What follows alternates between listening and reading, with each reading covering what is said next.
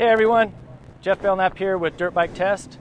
We are out here at round five for the NGPC series at Primm, Nevada.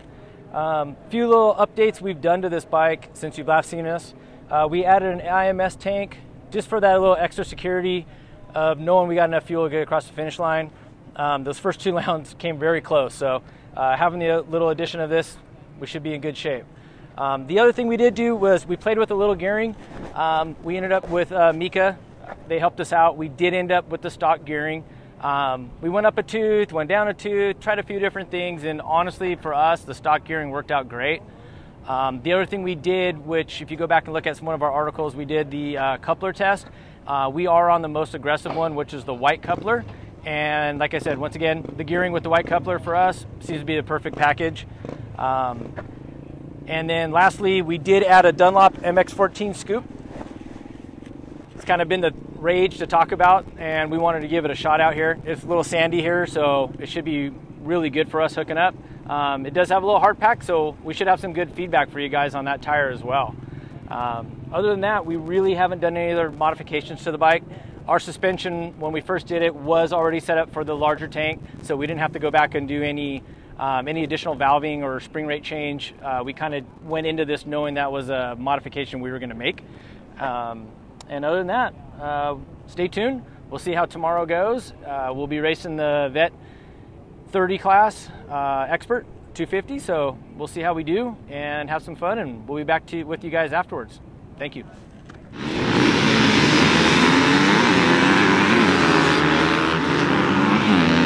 Just finished up our weekend of racing out here at Primm, Nevada for the NGPC series. Uh, really happy with what I've taken away on the upgrades that we've added in our stage two portion of this build. Um, like we mentioned in the beginning, we added the IMS oversized tank, which thank you to them. That really gave us that confidence of not worrying about running out of fuel. Although I think we would have been really, really close in the stock tank, we we probably could have pulled it off. But just nice having that confidence, knowing that uh, we don't have to worry about that. So great, great addition to that. Highly recommend it. Easy bolt on, nothing really crazy to do. You know, simple, simple bolt on, maybe an hour and a half, and and away you go for that. Um, the Mika gearing, like I said, once again, we ended up with the stock ratio um, but just a little bit stronger chain, um, you know, lightweight uh, rear sprocket. So uh, thank you to them for their support.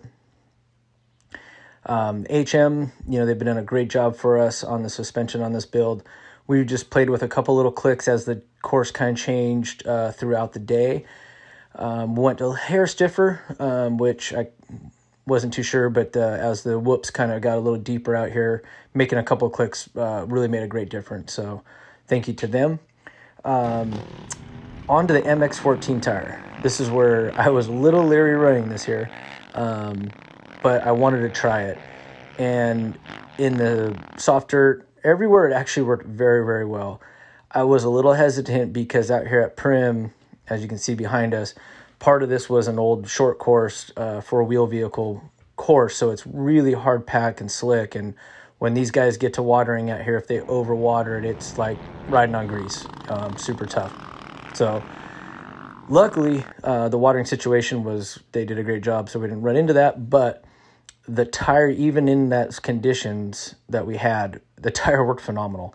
Um, first time using it here, like I said, in these type of conditions.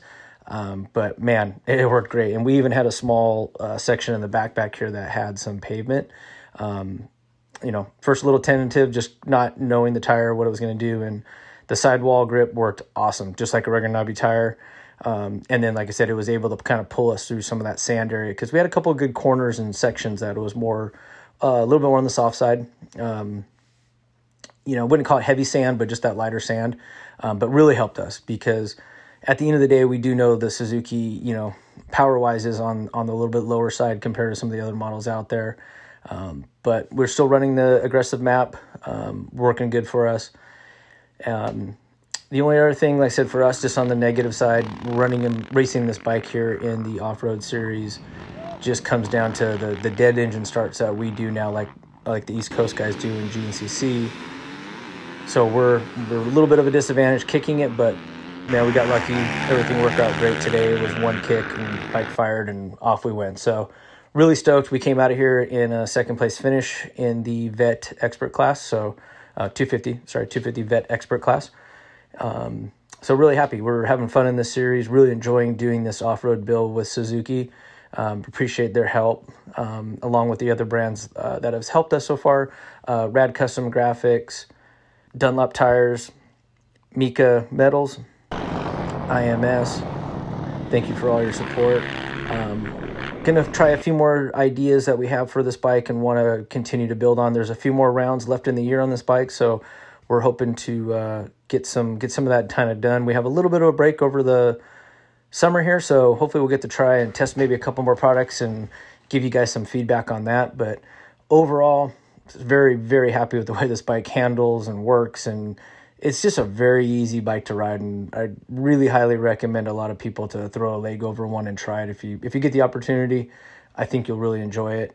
Uh, as of late, we've been riding a lot of different bikes, and I'll tell you what, this bike's one of the best handling bikes you're going to come across in the moto side and, like I said, off road side for what we're using it to, because we're kind of building this thing as the off road side. So, but keep keep an eye out uh, for more of us, more of the dirt bike test components to come on this thing, and more videos to come. Thank you guys for watching.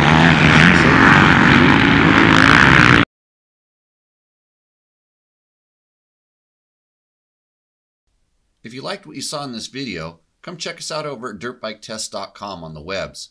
We have bike tests, product tests, a lot of fresh dirt, and you can even support us by clicking through our links.